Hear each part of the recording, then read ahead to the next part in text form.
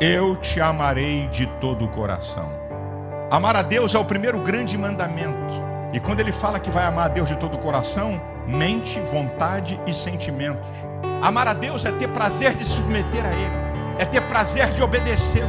Olha o que, é que ele está dizendo aqui no texto: Eu te amarei de todo o meu coração, ó Senhor. Reconhece a autoridade de Deus, se submete à Sua vontade e à Sua palavra. Verdade é que muita gente quer a bênção das promessas, mas não quer a bênção da obediência. Esquece que a bênção das promessas está subjugada à bênção da obediência. Ele é Senhor, Ele é dominador. Eu me submeto a Ele, me submeto a Ele prazerosamente, porque sei que Ele tem o melhor para mim. Deus é, na realidade, rocha. Deus é, na realidade, fortaleza. Escudo. Deus é, na realidade, Deus sustentador. O desafio que eu faço a você é que, se você quiser experimentar isso, entregue sua vida a Ele.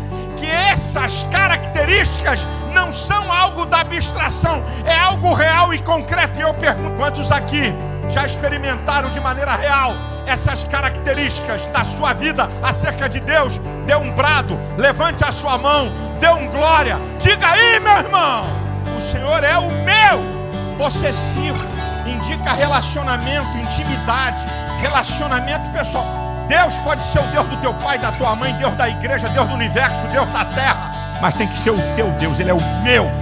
Deus quer se relacionar diretamente com você, Deus quer se manifestar a você, é o meu Deus, o Deus que se manifesta a você. Deus tem coisas para manifestar para você que não tem para mim. Para você entender que você pode ter níveis de intimidade com Deus, porque não é o título que alguém tenha, que determina o nível de intimidade.